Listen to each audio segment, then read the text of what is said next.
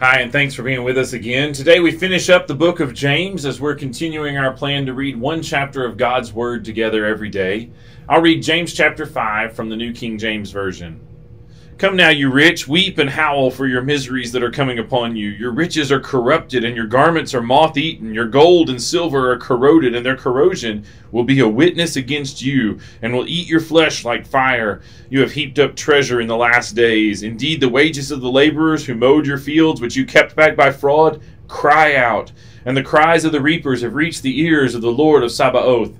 And you have lived on the earth in pleasure and luxury. You have fattened your hearts as in a day of slaughter. You have condemned, you have murdered the just. He who he does not resist you.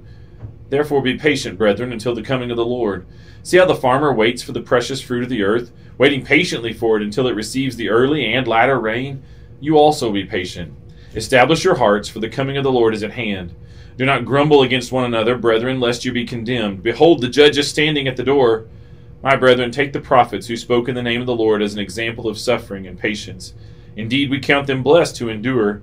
You have heard of the perseverance of Job and seen the end intended by the Lord, that the Lord is very compassionate and merciful.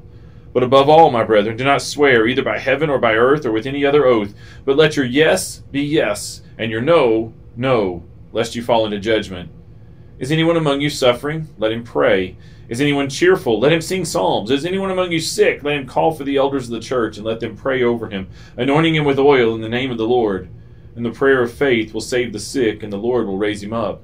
And if he has committed sins, he will be forgiven. Confess your trespasses to one another and pray for one another that you may be healed. The effective, fervent prayer of a righteous man avails much. Elijah was a man with a nature like ours, and he prayed earnestly that it would not rain, and it did not rain on the land for three years and six months. And he prayed again, and the heaven gave rain, and the earth produced its fruit. Brethren, if anyone among you wanders from the truth, and someone turns him back, let him know that he who turns a sinner from the error of his way will save a soul from death and cover a multitude of sins. That's our reading for today from James chapter 5. Thanks so much for joining us. I hope you'll join us every day as we read one chapter of God's Word together. Have a great day.